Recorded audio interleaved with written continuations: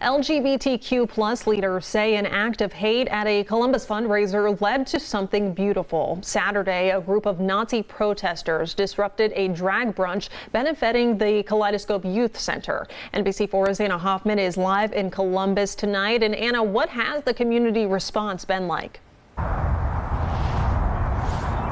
Jennifer Kaleidoscope says their original fundraising goal was $5,000. Now they're at about 50,000. The executive director says, oddly enough, she can't think of a better way to get to this place than a positive response to hatred. Saturday's drag brunch in support of the Kaleidoscope Youth Center was meant to promote inclusion and community partnership. I was here with with friends and a lot of other people, and we were uh, here to have a good time and raise money for Kaleidoscope Youth Center. Then attendees say an appearance from Nazi protesters shifted the mood. We kind of saw them parading up.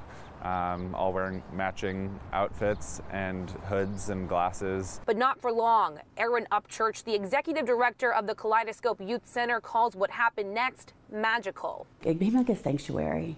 Um, people really dug deep within themselves around their love and community. Um, I saw people having blankets and tarp, and I don't know where those things came from, um, but they appeared and they were standing in front of the, the protesters, holding them up to block the view, block their view of us, but also our view of them. Says the performers commanded the stage, leading the community towards a place of unity. I love the word backfire because what it has done is it instead of lifting up their message, it lifted up the message of community and what is possible when we all come together. Donations are coming in from across the entire country. They say even some celebrities have donated to the cause. It feels good to know that there's so much support out there um, for people living their authentic lives. They hope LGBTQ plus youth in Columbus see the true message that came out of this event.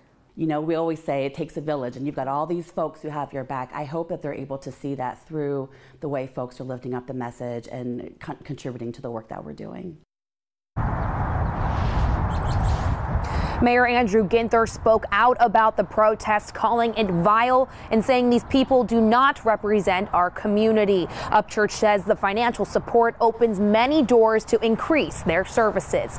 Local for you in Columbus, I'm Anna Hoffman, NBC4.